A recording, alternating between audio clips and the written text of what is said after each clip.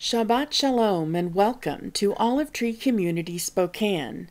The following recording is from this week's teaching on the Parsha or portion from the Torah. You can find more details on this Parsha and the scripture being referred to in the pull down menu below. Now let's join our teacher as he shares his insights from the scriptures.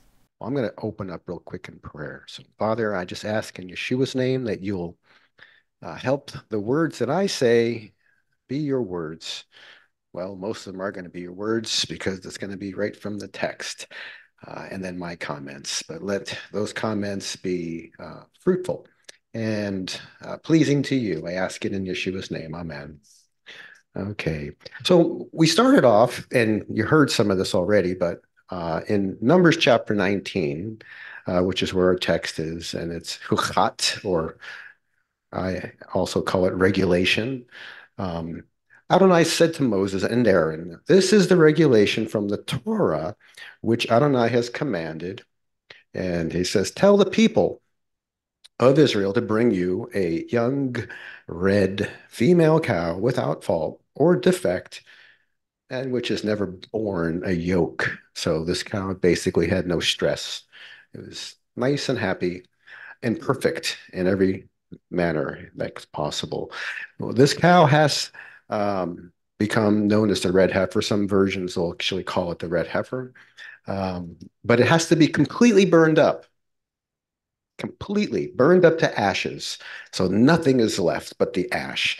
And as it's being burned, they add these three things, three, three, three things: um, cedar wood, hyssop, and uh, a scarlet yarn or some people's versions might say crimson thread. Uh, and these all have purpose because everything God does has purpose. Uh, my guess is that the cedar wood has a uh, pleasing, maybe fragrant aroma. I, I, think wood smells good when it's burning most of the time. I like barbecues, you know. Uh, but the crimson yarn, the threads, kind of like the the heifer's red, and the hyssop. Well, they use that normally when they sprinkle right? They sprinkle people with this hyssop stuff. So anyway, so these ingredients do have, uh, they're symbolic in many ways. So they take the ashes, and what's kind of unique is uh, anybody who touches the ashes is, is clean, but then they become unclean, right? So they take these ashes and they uh, they take them a distance away from the uh, the living area where they are at, and they are waiting for the necessary moment, right? Because the necessary moment, it becomes necessary when someone becomes unclean. And the unclean or sin at this point is uh, based on the fact that um, they touched something dead or it came real close to them and it made them uh, impure. Uh, so it's kind of a sin to become unclean, to come in contact with a dead person. Um, and ways that you can become unclean uh, with a dead person is, uh, and here's like the top of the list um, you enter a tent, right? And in this tent, there's somebody who's dead. Um, so, for those of you who like to just open people's doors and walk in their house, you know, here's you better knock before you go into that tent because guess what? If you enter the tent, you're going to become part of this uncleaned party for seven days also because you walked in the tent. So now you're unclean also. So knock before you enter is a good. Uh, also, a touch in a corpse in a field. You know, you, maybe you find somebody in the field and you're like, hey, are you okay? Uh-oh, you're not okay. You just touched a corpse and now you have to tell them, I got to get cleanse, you know, the three day and the seven days, and or you pick up a bone. I'm gonna guess it's a human bone, but it could be a bone of anything, but a bone of a person, I guess. Uh, or you touch a grave. Um, and that's probably one of the reasons why they used to, you know, you heard the term whitewashed tombs, you know, they they made them obvious. So you didn't walk on them or touch them. And uh, it was a helpful way to stay clean. so watch out for the tombs as well. And uh, so this rule, this chukat, which uh, basically meant you spend seven days, right? Seven days, and uh, you're unclean. So the third day you get sprinkled, the seventh day you get sprinkled, and then you wash, and at the end, at the end of the day, you're okay. You can join the community again.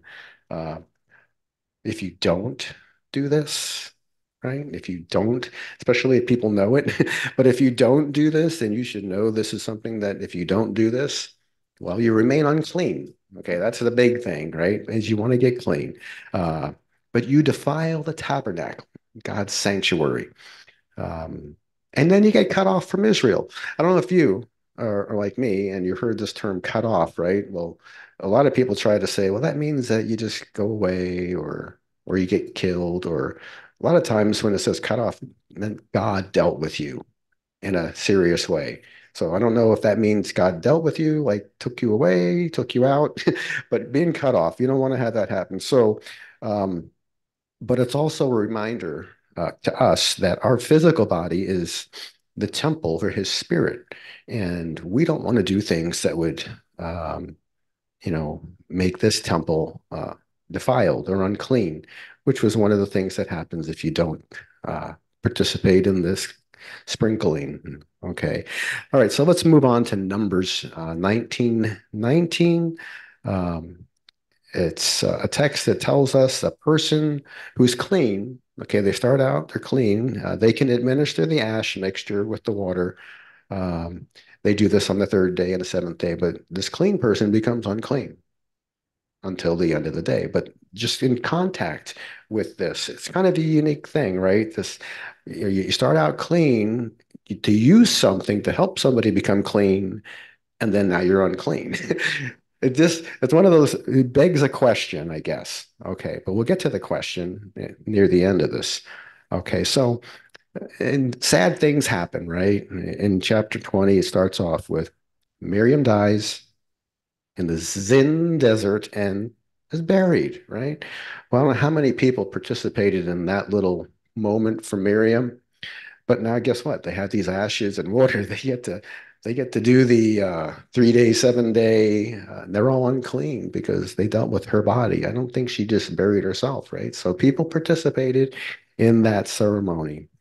Um, you would think that that was enough, right, to just get people solemn and maybe uh, I don't know, mindful of God and let's be happy or something, right? But no, no, no, no, because right after that, in uh, the next verse in uh, chapter 20, verse 2, uh, guess what? We're out of water again. oh, that's not a good thing to run out of water because what happens when they run out of water? Let's assemble against Moses and Aaron and they start complaining. You know, the complaining just doesn't, you know, one couple minutes or two, it grew and it kept growing to the point where they basically are pointing fingers and saying, Why did you make us leave Egypt? You know, we had everything, right? We had all the food we could want. We had the water. We had so much. Yeah, they, they treated us terrible, but man, we had stuff there.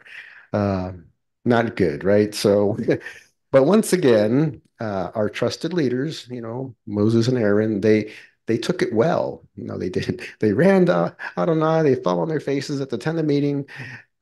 What are we supposed to do? They're going to kill us for. Why did we? You know. Okay, so what does he tell them? You know, he tells them, um,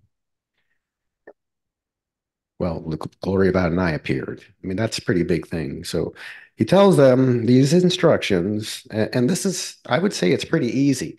You know, some things could be difficult, you know, like, but it's easy. He says, take your staff, you know, go up to the place where the staff's hanging out there, grab your staff, assemble the community, you and Aaron, your brother, and before their eyes, tell the rock to produce its water. I mean, that sounds easy, right? Just tell it. You will bring them water out of the rock and thus enable the community and their livestock to drink. Okay, well, I would have just said, all right, that sounds pretty easy.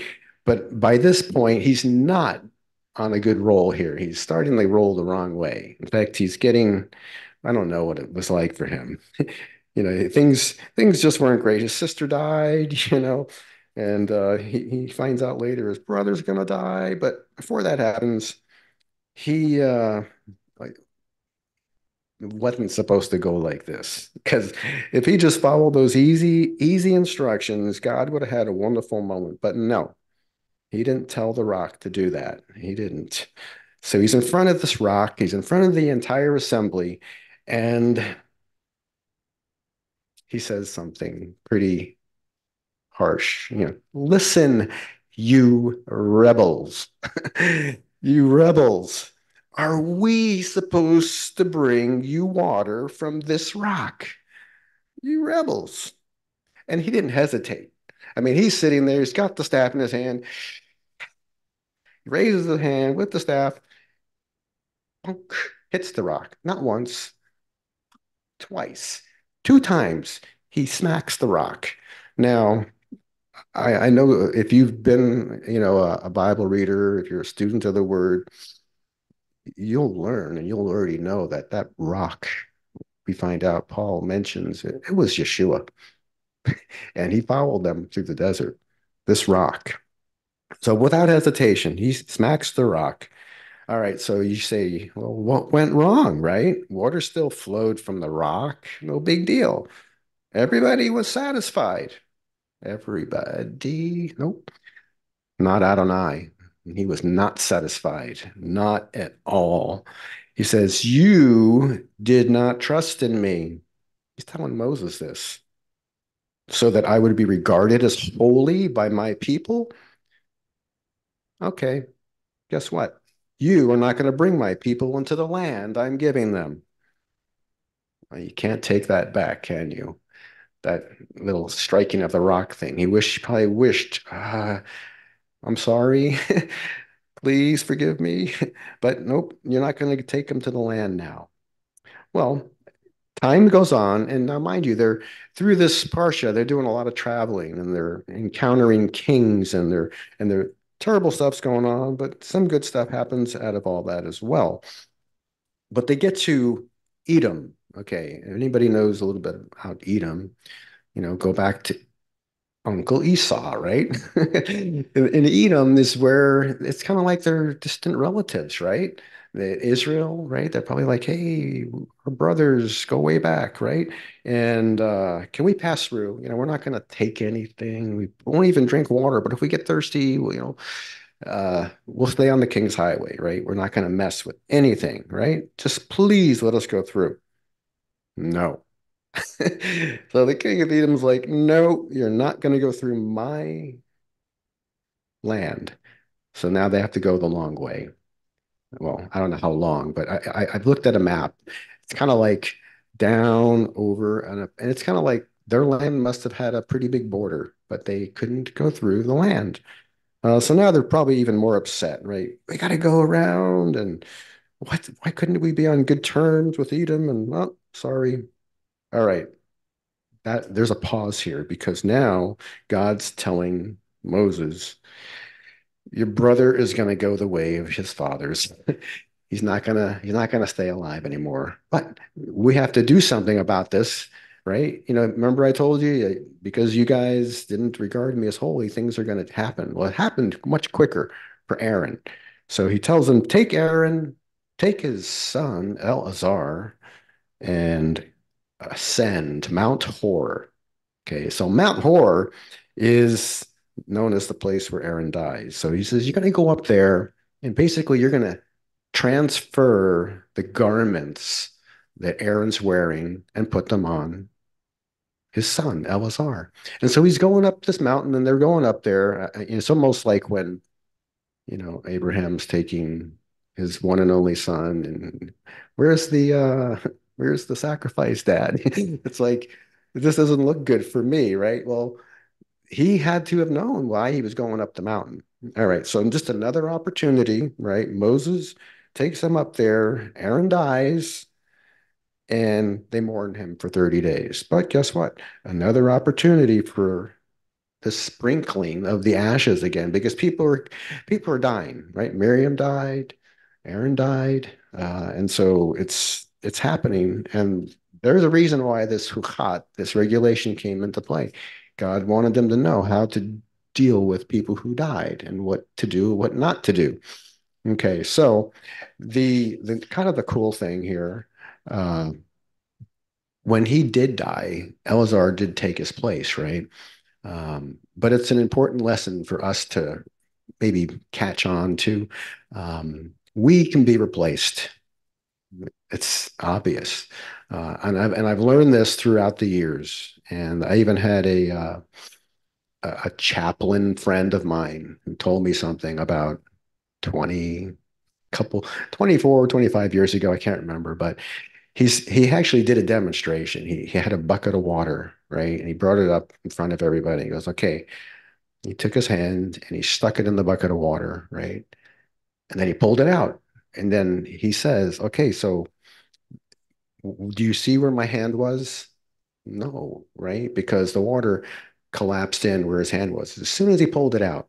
And that was that was an amazing thing because I was in a I was in a country. Well, I wasn't in a country. I was in a I was in Alaska, but I was so far away. I was in the Aleutian Islands, and everybody that went to this place was there for one year.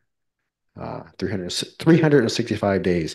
And so we knew that we would be replaced, right? Everybody that came there was going to get replaced. And so, um, but that's what we learned when Elazar, the son, fills in as the high priest now, is that Aaron could be replaced. And then eventually Elazar was going to be replaced. And, and that's how God sees it. But these replacements are only really possible when God's in control.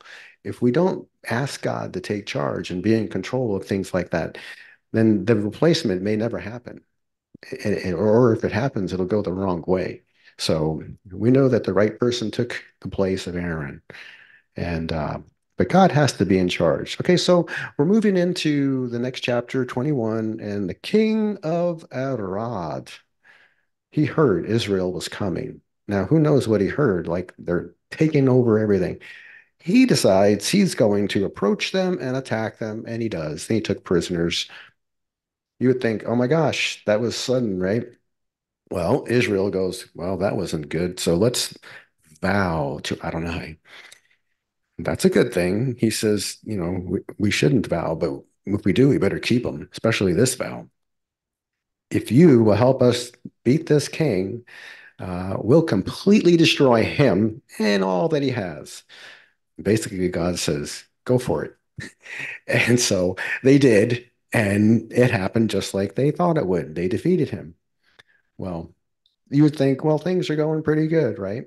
Um, but not you know what happens when things are going good israel loses sight of god's promises and all the good things that he's done for them and they decided to complain again and uh, but it's time for them to learn a real valuable lesson uh, about not being impatient and we can get impatient sometimes we can want it now or want it quicker than we should be having it so they get very impatient. And uh, in Numbers 21, verses 4 and 5, it says that the people's temper grew short and they spoke against God and Moses. So, I mean, we, we just got the detour, right? Go around Edom, can't go through Edom. And now they're like, we don't have any real food here either and we're out of water again, right? We're out of water again. And this stuff that we're eating, we're getting sick of. really. I mean, we heard manna, right? They were eating that for years. Now they're getting sick of it, pretty sick of it. Well, um, they had to learn a lesson, right? So what does Adonai do? He sends poisonous snakes. They probably thought this was really bad. Now we got these poisonous snakes coming and they're biting people and they're dying. Okay. So the snakes weren't just nipping at them, they were poisonous, right? You've heard about that. If you get bit by a poisonous snake, you better uh, administer anti venom quick, real quick, and hope it doesn't reach the vitals like the heart, you know, or brain, or I don't know how fast, you know, your blood goes through your body. But if this poison gets through your body, it's going to do some, and it did. It killed a lot of people. And so the people start to admit, yeah, we sinned, we rebelled. Please, Moses, help us. uh, okay, I, I, can do this. Um, but Adonai says, all right, I'm going to tell you what to do.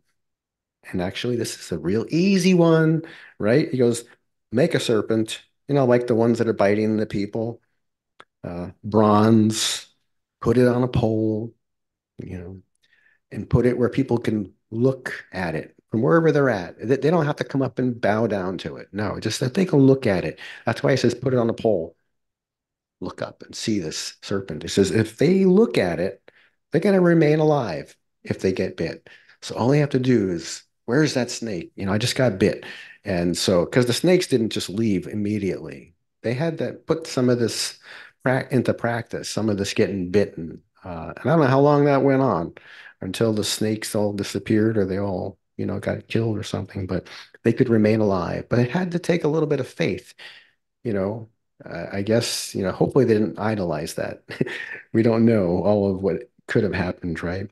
But this is another opportunity uh, that we can apply here, right? Uh, something that Yeshua told us, and it's in the book of John, chapter 3. And does anybody remember uh, a program on TV called Nick at Nite? Everybody remember that? Nick at... All right, well, Definitely. Nick at... Yeah. So who's Nick at Night in in John chapter 3, right? Nicodemus. Well, Nicodemus is having this little one-on-one with Yeshua, and as they're talking, you know, he says to him, uh, as Moses, this is right before John 3.16. It's like 14 and 15, right before John 3.16. Everybody knows that one, right? Just as Moses was lifted up, he lifted up the serpent in the desert, so must the Son of Man be lifted up. So I don't know if anybody watches the, that Chosen series, you know, but anytime he mentions Son of Man, they know what he's talking about. he's not just talking about a, an, an imaginary figure. He's talking about the, the Messiah. So the Messiah has to be lifted up so that everyone who trusts in him may have eternal life. So he was lifted up, right? Uh, our, our Messiah was lifted up on, on a stake, and he was. And everybody who looks to him today has eternal life you look to him and you and you ask him to come into your heart for forgiveness. So the lifting up. Okay, so that's John. But in Second Corinthians, it also says in 521, um, God made this sinless man be a sin offering on our behalf, so that in union with him, we might fully share in God's righteousness. You don't get to share that if you're unrighteous or if you're not forgiven. So looking to him helps us share in that. Well, after much traveling, still continuing with the Parsha, after much traveling and camping and setting up tent and all, they come to a place where there's a well, Be'er. And uh, this is when Adonai tells Moses, I want you to assemble the people. I'm going to give them water. Okay, before we were trying to come up with a, a song, right? Spring up, oh well. They sang that song. It's right there in the Bible. So if you look at that chapter, you'll see it. Spring up, oh well. And uh, and there's a couple more verses, and they're not the ones that we sing to that song most of the time.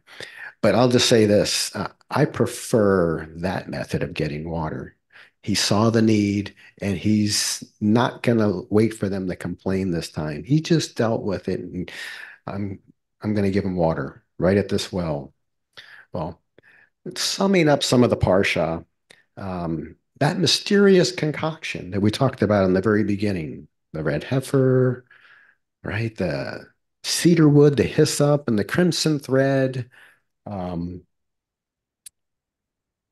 Anybody who touched anybody who touched a dead person had to deal be dealt with this water solution in the ashes, right? So a little mystery, eh, but not a riddle uh, in itself. In the in the book of Job, Job 14, verse 4, there's a question that's kind of asked.